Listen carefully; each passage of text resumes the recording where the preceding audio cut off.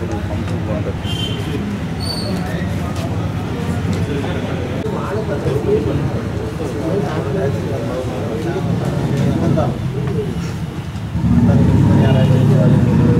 తక్కువగా? అరే కదా బయట పోతామేంటి అలా కూడా డిఫరెన్స్ భిన్నాభిప్రాయాలు ఉండొద్దు అని చెప్పలేము అట్లా సెక్యులర్ వాళ్ళు మాత్రం అందరూ కూర్చోవాలి.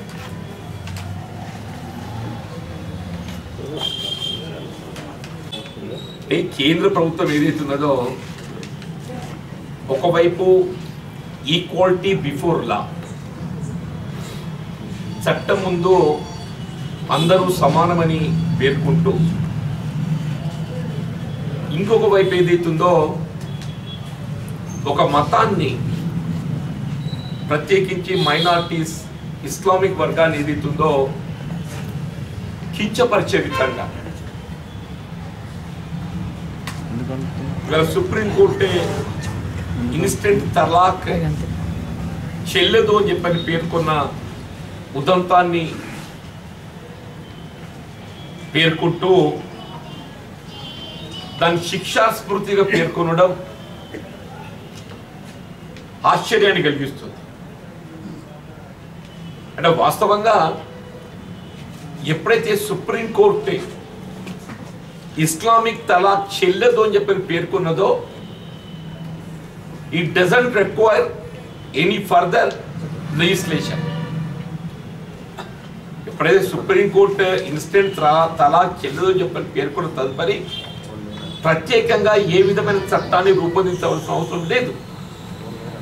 That will become law of the land unless it is amended supreme court తీర్పును రద్దు చేసేంత వరకు అది ఏదైతుందో అది మార్గదర్శకంగా నిలిచిపోతుంది. ఫర్ ఎగ్జాంపుల్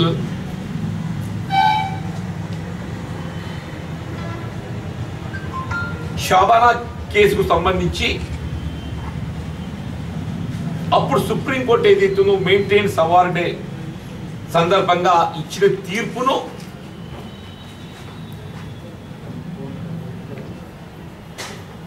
పార్లమెంట్లో దాన్ని రద్దు చేసేంత వరకు ఏదైతుందో దాన్ని చట్టంగా భావించడం జరిగింది మార్గదర్శకంగా. ఆ ఎప్పుడైతే దాన్ని రద్దు చేయడం జరిగిందో it has become null and void. It has become null and void. ఇప్పుడు కూడా సుప్రీంకోర్టు ఏదైతే ఇన్స్టెంట్ అలా చెల్లదో చెప్పని పేర్కొన్నదో అన్లెస్ ఇట్ ఈస్ అనల్డ్ దాన్ని ఎంతవరకు అయితే రద్దు చేయడం జరగదో అది న్యాయస్థానాలకు ఏదైతుందో మార్గదర్శకంగా ఉంటుంది. ప్రత్యేకంగా చట్టాన్ని మనం రూపొందించవలసిన అవసరం లేదు. కానీ కేంద్ర ప్రభుత్వం ఏదైతుందో ఇక్కడ మరి దేశంలోని ఒక వర్గాన్ని ద్వితీయ శ్రేణి పౌరులుగా చూపెట్టే విధంగా. మరి ఏమనంటే ఇస్లామిక్ దేశాలన్నీ ఏదైతుందో ट्रिपल तलाक रद्द చేశాయని చెప్పని పేర్కొంటుంది मगर यहाँ पे सोचने की बात क्या है बोले तो चाहे वो इस्लामिक के नेशन पाकिस्तान समझे जो भी है इंस्टेंट ट्रिपल तलाक को रद्द किया गया है कहीं भी शरीयत में जहां तक मैं जानता हूं शरीयत में जहां तक मैं जानता हूं इंस्टेंट ट्रिपल तलाक नहीं है। उस वास्ते सुप्रीम कोर्ट जो है इंस्टेंट ट्रिपल तलाक जो है, कानून माना नहीं जाएगा बोल के बोले। ये पूरा दुनिया में वही अमल में है। मगर यहाँ पे क्या बोले तो एक तरफ़ आप इक्वालिटी बिफोर लॉ बोलते, कानून के सामने सब एक है बोलते, दूसरी तरफ़ जो है सिर्फ़ एक मज़हब वाले को, दूसरी तरफ़ ये सिर्फ़ एक मज़हब वाले को नीचे दिखाने के वास्ते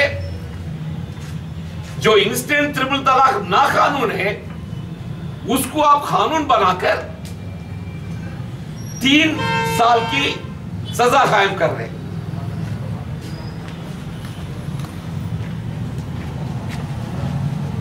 अगर समझे कहीं अगर जनाने के ऊपर, अगर किसी घर में बीवी के ऊपर ऐसे कुछ अत्याचार हुए तो there is an act domestic violence there is act domestic violence which came in existence in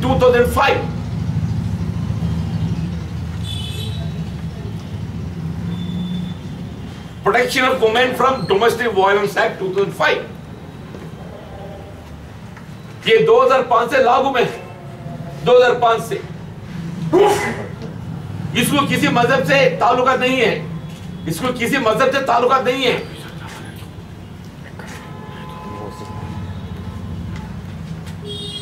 समझो आईपीसी 498 ए है।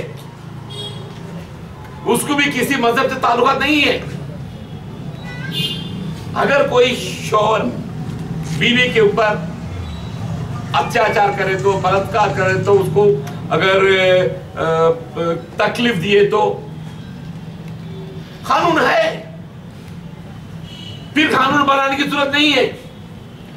अगर हिंदुस्तान में ऐसे कोई कानून बनाना चाहे तो वो पूरे मुल्क को, पूरे पूरे हर नागरिक को, वो बराबर उसकी అమలు होना चाहिए ఒకవేళ కేంద్ర ప్రభుత్వం ఏదైనా చట్టాన్ని రూపొందించదలుచుకున్నట్టయితే అది కేవలం ఒక వర్గాన్ని ఒక మతానికి సంబంధించినట్టు కాకుండా ఈ దేశంలోని పౌరులందరూ కూడా ఎవరు తప్పు చేసినా అందరికీ ఏదైతుందో దాన్ని వర్తింపజేసే విధంగా ఉండాలి అంతేగాని ఏదైతుందో కేవలం ఒక మతానికి మాత్రం చెందే విధంగా ఒక మతాన్ని మాత్రం ఏదైతుందో కించపరిచే విధంగా ఒక మతాన్ని మాత్రం ఏదైతుందో వివక్ష గురి చేసే విధంగా చట్టాన్ని రూపొందించడం ఇది ఏకపక్షంగా మరి కేంద్ర ప్రభుత్వ విధానం కొనసాగుతుందని చెప్పక తప్పదని చెప్పంటూ నేను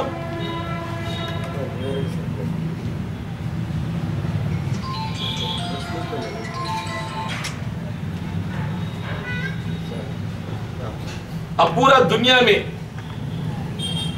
चाहे वो इस्लामिक नेशन हो चाहे कौन सा भी नेशन हो कहीं भी त्रिपुल तलाक इंस्टेंट त्रिपुल तलाक को माना नहीं जा रहा है वो अलग चीज है मगर सजा कहीं भी नहीं है हर बार जो है कल जो కేంద్ర న్యాయశాఖ మంత్రి ఏమంటాడు మొత్తం ప్రపంచంలో ఏదైతుందో ఇస్లామిక్ దేశాలన్నింటిలో ఇరవై దేశాలల్లా దీన్ని రద్దు చేసినని చెప్పంటారు ఎస్ ఇరవై దేశాలలో ఏదైతుందో ఇన్స్టెంట్ త్రిపుల్ తలాక్ ఏదైతుందో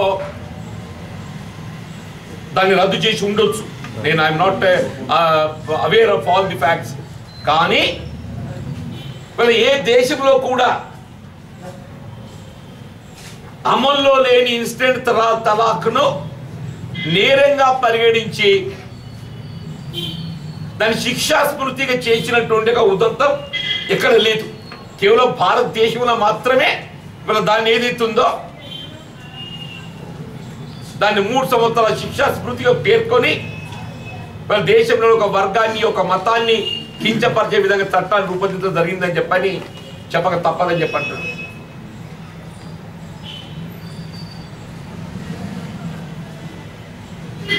మళ్ళీ ఈ దేశం లౌకిక దేశం సెక్యులర్ స్టేట్ ఇలా లౌకిక వాదంపై విశ్వాసం ఉన్నటువంటి ఒక ఏ రాజకీయ పార్టీ కానీ ఏ పౌరుడే కాని కాక. ఇలా భారతదేశం గొప్పతనం ఏంటంటే ఇది కేవలం ఒక ప్రజాస్వామ్యయుతమైన ఒక దేశమే కాకుండా It's not only a democratic nation. Besides, it's a democratic nation, it's a secular nation. Besides, it's a democratic nation, it's a secular nation. ఇలా కుల మతాలకు అతీతంగా మన దేశంలోని పౌరులకు అందరికీ సమానమైనటువంటి హక్కులు కలిగించేటటువంటి దేశం భారతదేశం దక్కున్నట్టు ఒక గొప్పతనం ఇవాళ ఏదైతే ఉందో మన ప్రపంచంలో ఏదైతే ఉందో తలదించుకునే విధంగా ఈ చట్టాన్ని రూపొందించని చెప్పని నేను భావిస్తున్నాను చెప్పంటున్నాను దీన్ని తీవ్రంగా గర్హిస్తున్నాం ఖండిస్తున్నాం.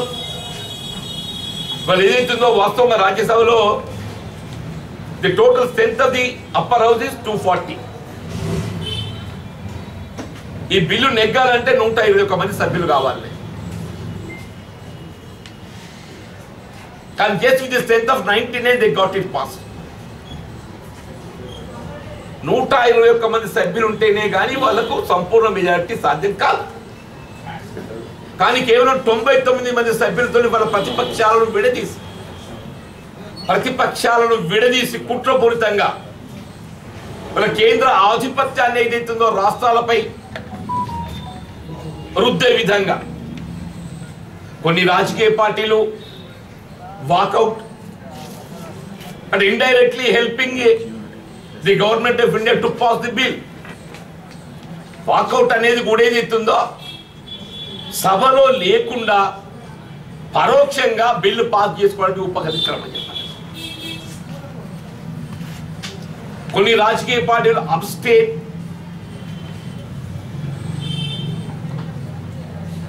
అంటే ఇది కూడా పరోక్షంగా ఏదైతుందో బిల్లు పాస్ చేసుకోవడానికి కేంద్ర ప్రభుత్వానికి ఏదైతుందో ఉపకరించడం అని అంటే కేంద్ర ప్రభుత్వం ఏదైతుందో ఇవాళ రాష్ట్రాలను వివిధ రాజకీయ పార్టీలను ప్రాంతీయ పార్టీలను ఏమి విధంగా ఒత్తిడి ఒత్తిడికి గురి చేసి వాళ్ళని ఏదైతున్నదో సభలో హాజరు లేకుండా సంఖ్యాబలంగా సంపూర్ణ మద్దతు లేకుండా బిల్లు ఆమోదం పొందటం ఇది ప్రజాస్వామ్యాన్ని ఏదైతుందో అపహాస్యం చేసినట్టుగా భావించక తప్పదు ప్రజాస్వామ్యాన్ని అపహాస్యం చేసినట్టు భావించక తప్పదని చెప్పండి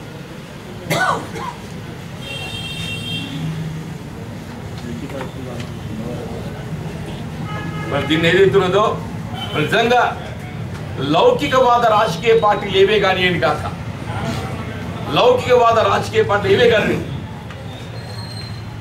जो अपने आप को सेक्युलर पार्टी समझे तो आप हिम्मत से ऐसी मजहबी पार्टियों के मुखाफलत में लड़ना चाहिए।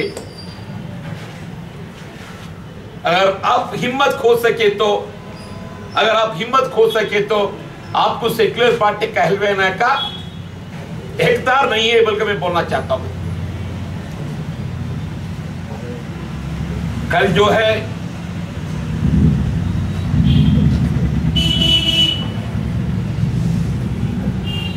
राइट टू इंफॉर्मेशन एक्ट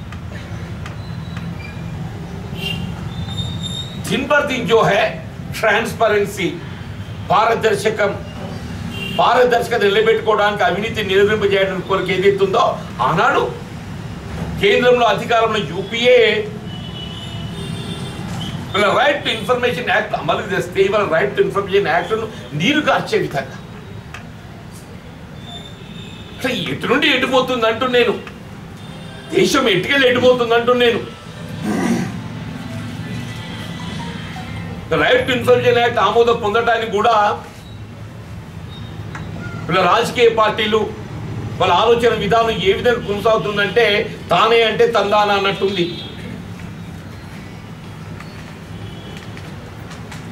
जो अपने आप को यही राइट टू इंफॉर्मेशन एक्ट हम मुखाफलत कर रहे हैं दस्तखत करे स्टेटमेंट प्रिपेयर करे जनाब केशव रोसा फिर क्या हुआ हम सहमत है ये हुकूमत जो है इसको ఆ, దాన్ని ఏంటి ఆ, ఆ, దుర్వినియోగం చేయదని చెప్పాయి నువ్వు చట్టాన్ని రూపొందించి వాళ్ళ చేతులు పెట్టి వాళ్ళు దుర్వినియోగం చేయరు అంటే దాన్ని ఏం అనాలి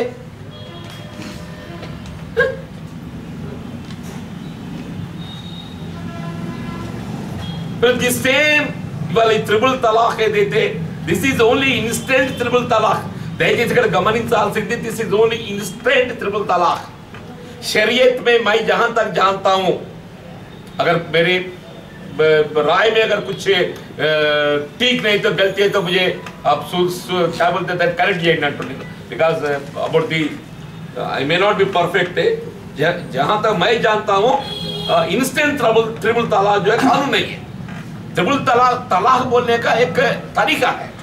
शरीयत में तलाक बोलने का एक तरीका है। तलाक तलाक जो है, बीच में वक्त देना चाहिए। तलाक तलाक। वो वक्त नहीं देकर जब का जब भी टेलीफोन में या व्हाट्सएप में ये कानून नहीं है साहब, इसको तलाक माना नहीं जाता। जब इसको तलाक नहीं माना जाता, वो मिया बीबी जैसे को वैसे रह जाता।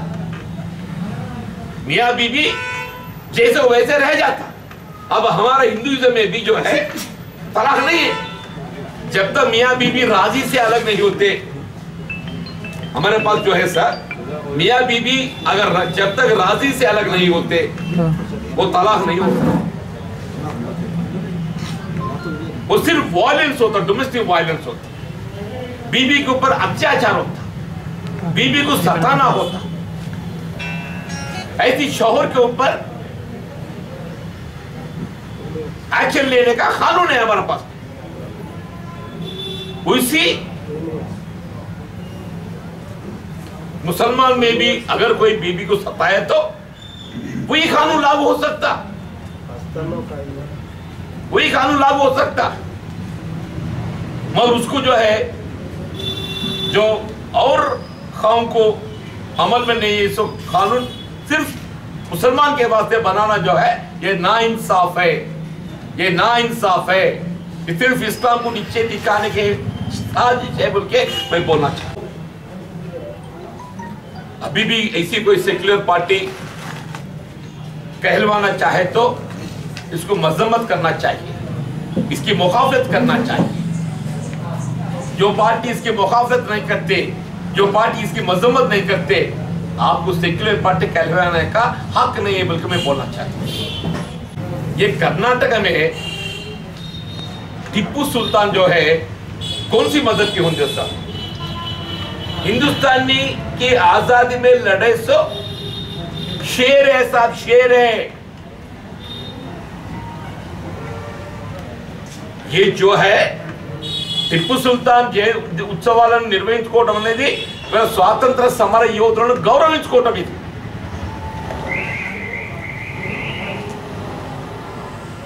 దేశ మహాత్మా గాంధీ సుభాష్ చంద్రబోస్ ఆజాద్ భగత్ సింగ్ సుభాష్ చంద్రబోస్ భగత్ సింగ్ ఆజాద్ వల్లభాయ్ పటేల్ जैसे मुल्क की आजाद के वास्ते लड़े से शेर है वैसे टीपू सुल्तान भी ये हिंदुस्तान आजादी के वास्ते लड़े से शेर है साहब